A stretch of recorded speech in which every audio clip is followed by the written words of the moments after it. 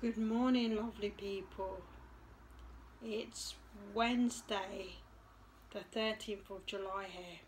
Hello, good morning. At 8.25 hours in the United Kingdom, I'm over 40s Health.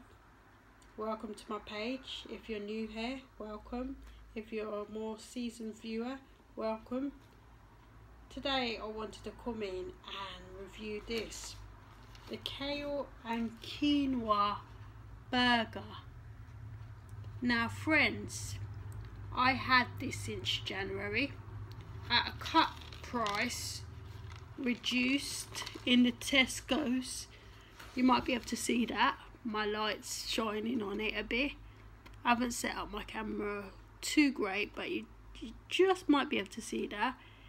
It was reduced right down to one pound and 48 pence from 295 in the United Kingdom. I thought this is great. It's a bargain buy. It's a nice healthy burger. Although I don't usually have burgers and on the nutritional scales one has to be careful of the weights and the salt because it can have devastating health implications such as heart disease if you have too much salt and too much weight could cause obesity but you already know that. But aside from that it's great because it's vegan recommended and you might just be able to see that but it's really great. I'm on my last burger which I put in the oven yesterday and I cut it into four.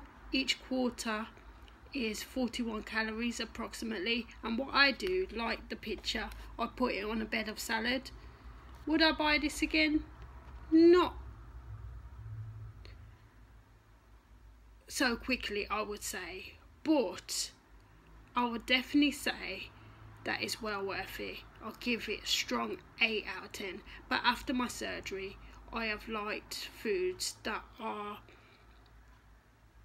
lighter and better for my digestive system, should I say.